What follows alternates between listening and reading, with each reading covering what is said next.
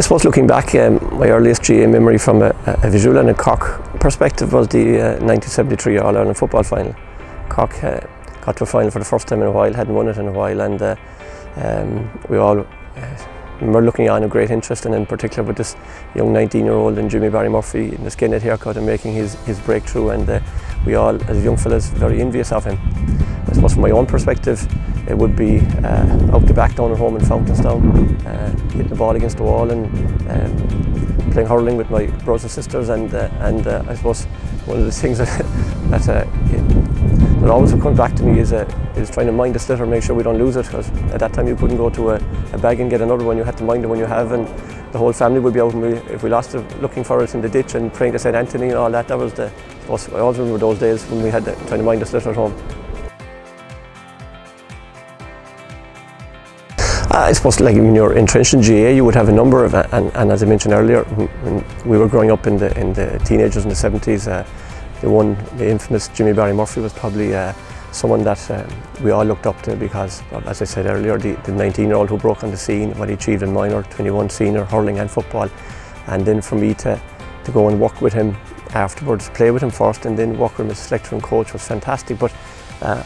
Suppose outside of that, I got to know a guy called Tern Sambo McNaughton um, through hurling. Uh, this guy uh, played hurling with Antrim, Cushendall, up in the Glens of Antrim,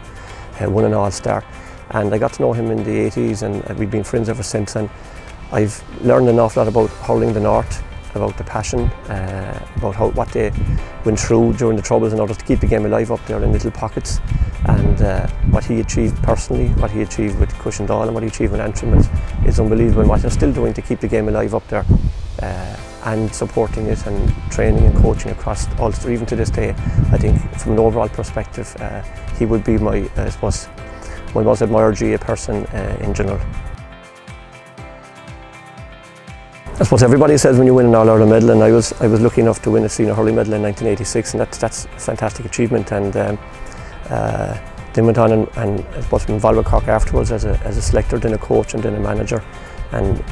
there was a few things stick out, the All-Ireland medal obviously, the, the coaching the team in, in 2014 when we we won a Munster Championship here against Limerick in the last game and before the, this, this uh, was redeveloped. That was unique with Jimmy as the manager. But I think from my own perspective, it would have to be when I was when I was man manager of the team. Um, I was involved for a number of years and uh, as, as, I said, a coach and selector, and then to become manager in, in the end of 2015. And the team was in somewhat of a transition. We had a very challenging 2016. Uh, we took a decision that we kind of needed to go a different route, and, and we created development squads and brought young lads, brought in a lot of young lads, and um, I suppose tried to create a foundation for Cork hurling into the future. Myself and, and, the management team I had with me, and Pat Ryan, Diarmuid O'Sullivan, and, and Pat Hartnett. And uh, and we're starting out in 2017. We were, I think we were 50 to 1 for the All Ireland and favourites for relegation in the league and 33 to 1 or something for the Munster Championship, something ridiculous like that. And, and we end up drawing the All Ireland champions and above in their backyard in Tipperary, the old enemy. And uh, we ended up that day with um, with five debutants and three 19 year olds and, and they played outstanding, the whole team played outstanding and backed it up again the next day and then again in the Munster final and to win a Munster Championship that year uh, with those guys was fantastic and unlucky in my view not to at least compete in the All Ireland final and we've seen now that they've went on last year and um, and back that up with another Munster Championship and going well again this year. So it's uh, I suppose there's a great satisfaction that from a manager to to um, to be involved in that transition with a good management team. And, and we see I said these lads will be the I, said the foundation of Cork hurling for the next for the next decade. And that's that's really really satisfying that you can move on if you want to move on and, and you hand over the franchise in a good place. And I suppose that's whether it's business or sport or anything I got huge personal huge personal satisfaction from being involved in that in that transition process.